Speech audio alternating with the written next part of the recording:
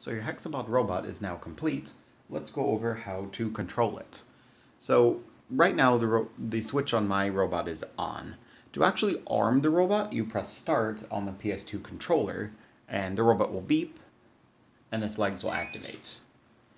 So this is now ready to accept commands. You probably want to get it up off the ground before it can actually walk, and that's accomplished with the up and down D-pad buttons on the controller. Pressing up will raise the robot off the ground. Pressing down will lower it again. When you first start the robot, it will be in walking mode to begin with. So just using the left analog stick will make the robot walk forward, backward, left, and right. Note that the robot's body is staying in the same orientation this entire time. And then the right analog stick can be used to turn, so spin the robot around in a circle.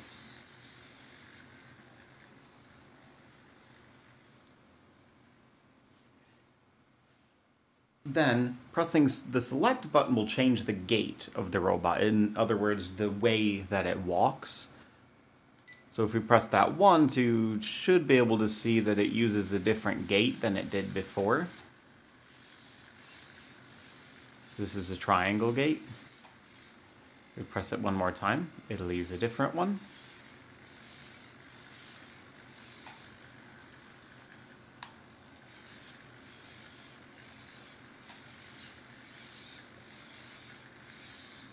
Press select again to select a different gait.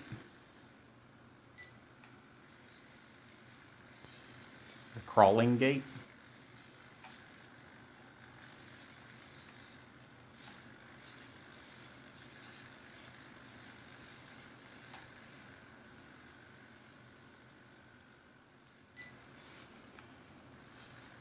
And this is a tiptoe gait.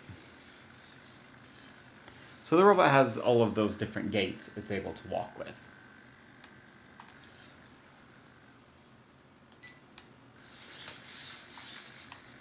You can increase and decrease the speed of the gait as well, using the left and right analog buttons. So we can turn the gait way down, and it will walk very slowly.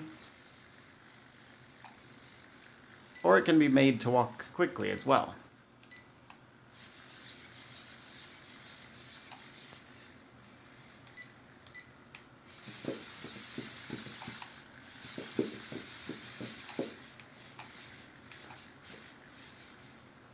The last mode in the walking commands is balance mode. That's activated using the square button. Let's turn down the speed a little bit.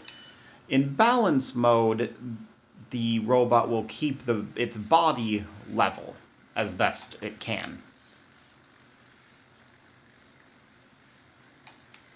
So that's basically all of the commands for walk mode. There are a couple of other modes that you can enter. Let's turn off balance mode. One is shift mode, activated using the L1 button. Shift In shift mode, the robot's legs stay planted on the ground, and the body, using the left analog stick, can shift staying horizontal to the ground for the most part. Or using the right analog stick, rotate along the yaw axis. Such shift mode. The other mode in which the robot keeps its legs planted on the ground is rotate mode. That one is activated using L2. In rotate mode, the left analog stick controls the pitch and roll for the robot, and the right analog stick again controls rotation along the yaw axis.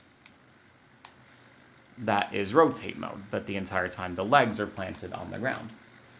Shift mode and rotate mode are toggles, so pressing it a second time will take off those modes. When you're done using the robot, press start again and it will deactivate. And that's about all there is for in running the robot.